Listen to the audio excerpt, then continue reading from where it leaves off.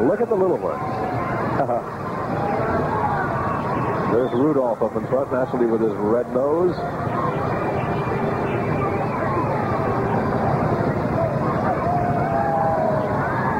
By the way, while Santa Claus is arriving, we would like to take this time to thank. Oh, there's our Grand Marshals. Yes. Robert Wagner and Natalie Wood and their charming, charming, beautiful children. Hello, Natalie. This is Lee Meriwether. Can you hear us? Is Bob?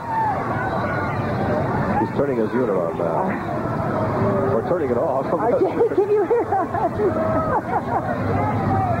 Our Grand Marshals, Robert Wagner and Natalie Wood. Riding on the float with, well, you know who. That's Santa Claus up there. Bob? Merry Christmas, my dear. This is Bob Lee Meriwether. Thank you very much, Lee. Can you hear me? Yes, we can. You're looking great, and you're doing a sensational job. Merry, Merry Christmas.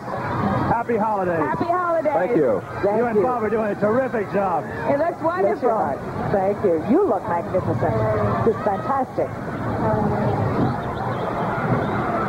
Look at the reaction of the children along the parade Oh, route yeah. to Santa Claus. It's amazing. You bring any big star you want to bring down the boulevard, but boy, when Santa Claus arrives, things do change. Look at that.